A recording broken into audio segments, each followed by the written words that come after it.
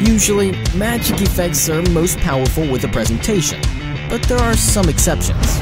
Arrow is one of those exceptions. Okay, for this trick, I'm going to find your card. Okay, I'm going to uh, make a mark on the back. I'm gonna use this arrow card to find your cards, okay? Keep your eyes on this arrow. He's gonna slowly find your card. I think it's gonna be, whoop, The ink comes alive and the arrow moves in an impossible manner. Not only is the visual strange and entertaining to watch, but it's also highly adaptable to your finding card routine, making it a working magician's best friend. turn it over, turn it over. Which card? Is it? That's your card, right? But this one kills in any scenario you can think of, including parlor and formal venues. This is not your ordinary ink effect. This is Arrow.